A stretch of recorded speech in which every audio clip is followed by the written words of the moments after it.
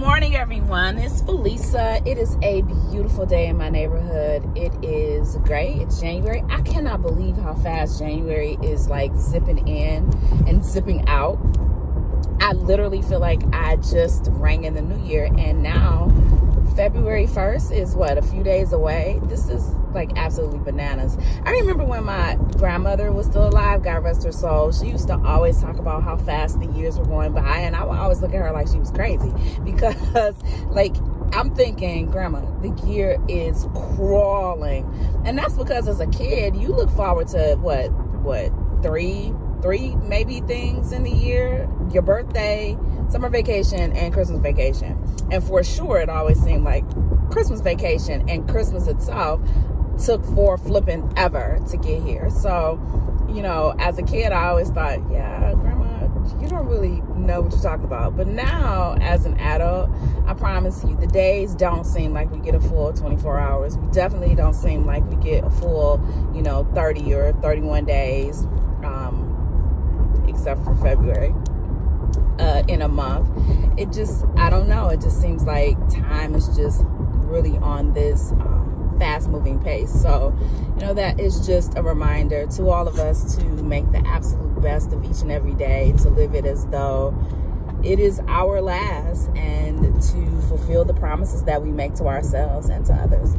Anyway, today's vlog is inspired by a post, of course, that I saw in one of my groups and I it was just intriguing. And so I wanted to come out and I wanted to get you guys' thoughts about it. So here we go.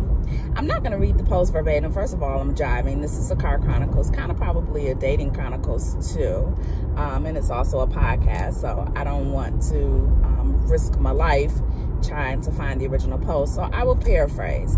The post was speaking about um, I don't want to know. I don't know if he was the president, but but a Ghanaian official. I'll just say it that way. And he said that men who try and marry when they are poor should be arrested.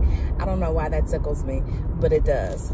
Um, because what can you offer anyone but poverty and bring your children into poverty?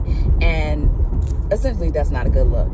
And you know of course people were like oh you know so you you know maybe you don't get married but should you be prevented from dating? And you know what if you want companionship and everybody doesn't want to get married? And blah blah blah blah blah which are the typical responses i think. And i am going on the record as saying i agree. Everyone does not want to be married. Everyone does not want to um you know have that long term long long life commitment and I get it. I completely get it. And if that is you, then this probably is not aimed at you.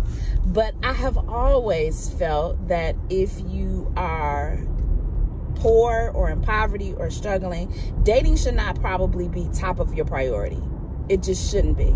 I think that there are other things that will probably be better suited to consume your time. And this is why. My philosophy is this. Nobody aspires to be born into poverty or being poor or to struggle. No one has that on their top 10. This is what I want to do. No child ever writes that on on their what I want to be when I grow up essay. You know, nobody ever says, you know, when I grow up, I hope I struggle and I'm a single parent and I can't pay my bills and I have to be um, intermittently homeless and I can't do this, that, and the third. I hope I can't finish my education. Nobody ever says that. Life happens to people. Absolutely. Sometimes the deck is seriously stacked against people before they even get here. And I'm aware of that. But what I think is instead of putting your efforts and energy into dating and you know soliciting someone or wooing them or pursuing them when you don't have your life in a, a situation that you are comfortable whatever comfort means to you I don't define that for anyone. Whatever comfort means to you, you probably should not be dating. And the reason that I say that is because dating inherently moves your focus. Inevitably, if you get to the point where you're dating regularly, semi-seriously, seriously, exclusively, whatever your definition is, because child is a moving target to figure out what dating means in 2020. But if you get to the point where, you know, you are you know, in one of those buckets, inevitably somebody will say something like, hey, I need my time. I need my face time. I know I'm like that.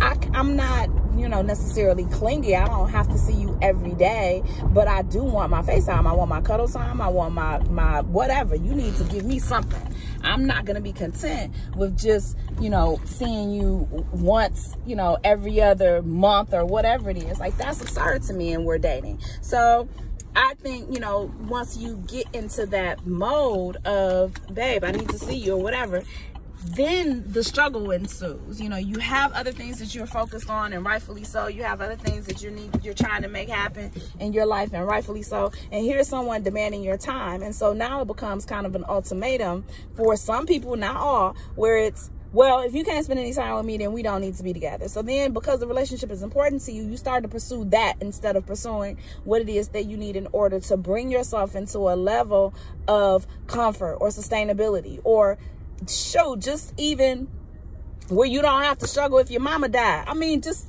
just seriously.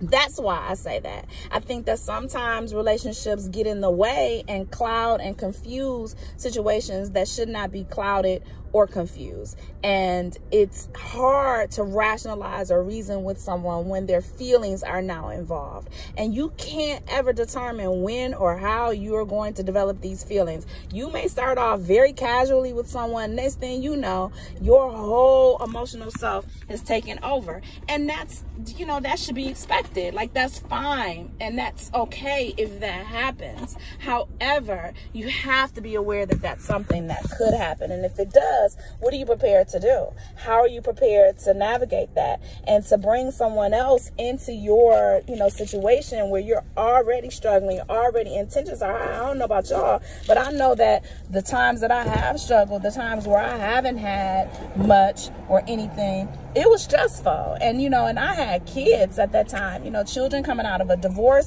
That was absolutely stressful. Trying to figure out how I was going to feed my children, trying to figure out how I was going to feed myself, trying to figure out, you know, where I was going to live, what I was going to do. That stress compi- um, compounds any situation that you're in, especially your dating situations. Why would you want to inflict that on yourself? My personal belief is, you know, do some group activities. Find a good tribe that you can go out with, you know, where y'all ain't got to spend a whole bunch of money. You know, y'all can kick it or whatever, go to the movies, matinees, whatever, so that you feel connected and, you know, you don't isolate yourself while you're on this grind. Finish your education, you know, start your career path, all those kinds of things. Put those, at least those um, enter those um, beginning blocks of development in place so that you have some foundation that you can build on. And you're not inviting someone into complete chaos and they're now interjecting with their wants and their feelings and you know all those things onto you because that is stressful. And it's especially stressful if the other person don't even know your situation. So you've presented yourself as you know this put together person and they're thinking okay well we can do this and the third and you counting every coin in your you know your piggy bank and every dollar in your account and you don't have it like that and you aren't too embarrassed to tell the person that you don't have it like that. And then so now what? Yeah, no. I feel like, you know, to minimize all of that, you just stay away from that for just a season, not for life, but just a season, just to get those things into place so that you can make dating meaningful or with a purpose if that's what you desire to do. Now, if you're just trying to waste somebody's daughter's time or waste somebody's son's time and you know you don't really care about none of that, then uh, this message is not for you. I'm talking about people who really want meaningful, comprehensive relationships, whether it's a marriage or not, and don't have their finances together. Like, I feel like that added stress is not something that you want to do.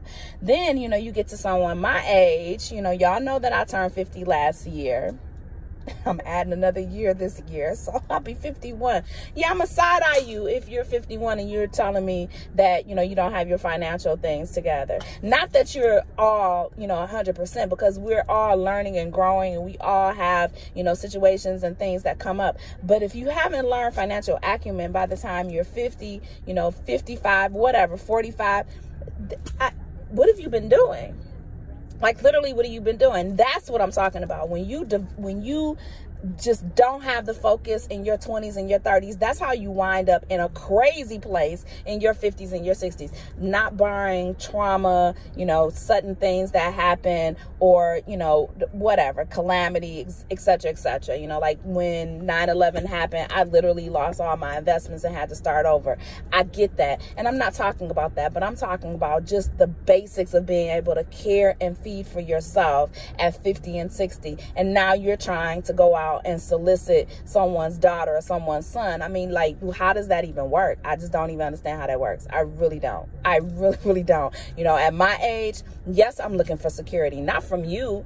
I'm looking for security in my life. And if you come into my life, I sincerely suggest that you not disrupt my peace and not disrupt my security. And now I got to be worried and concerned about you and paying your bills and whether things are going to be shut off or cut off or whatever.